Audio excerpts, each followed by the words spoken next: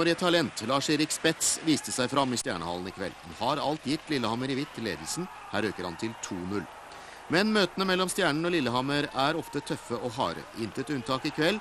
André Manskov Hansen reduserer for Stjernen. Og Lillehammers keeper Anders Høgberg holdt Lillehammer inne i kampen i første periode, men måtte kapitulere i den andre. Tre pucker slapp han inn, bl.a. denne. Marco Paulsen til 4-2 for Stjernen. Men det var altså et jevnt og tett oppgjør. Og I løpet av ni sekunder i begynnelsen av tredje periode 3-4 Mathias Holmstedt, og her 4-4 Jyrki Poikolainen. Kampen vippet da Lillehammer er for offensive.